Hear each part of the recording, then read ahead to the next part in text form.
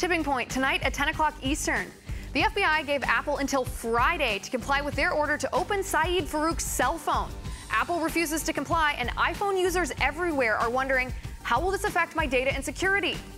Then Europe is buckling under the weight of the millions of migrants flooding their borders, and the European Union is yelling at countries who try to take the issue into their own hands. All that and more. Don't miss Tipping Point with me, Liz Wheeler, tonight at 10 o'clock Eastern, 7 o'clock Pacific.